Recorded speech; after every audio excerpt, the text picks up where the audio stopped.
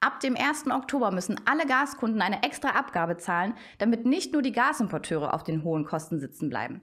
Wenn die Gasumlage niedrig ausfällt, würde das für einen Single-Haushalt etwa Extrakosten von 90 Euro bewirken. Wenn sie dagegen hoch ausfällt, könnten zum Beispiel auf eine Familie in einem Einfamilienhaus zusätzliche Ausgaben in Höhe von über 2000 Euro zukommen.